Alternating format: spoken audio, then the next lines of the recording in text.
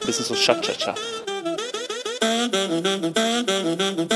Mein Lieblings-Emoji ist das hier, weil das ist für alles zu gebrauchen. Am liebsten verwende ich den Muckiarm. Also ich glaube, meine Lieblings-Emoji ist ziemlich einfach. Ich bin da sehr, sehr oldschool. Ich habe den guten alten Smiley. Ich weiß auch ehrlich gesagt noch gar nicht, äh, wie ich das installieren kann, dass ich bei WhatsApp und Co. andere Emojis schicken kann. Von daher der hier. Mein Lieblings-Emoji ist der lachende Smiley, der sogar Tränen lacht.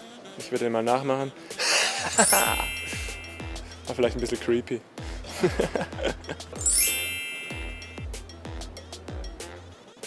Zu meinen Freunden und meiner Familie schicke ich oft den Kussmund. Mein Lieblings-Emoji ist ähm, die Frau, die tanzt mit dem roten Kleid. Also so ein bisschen so Cha-Cha-Cha.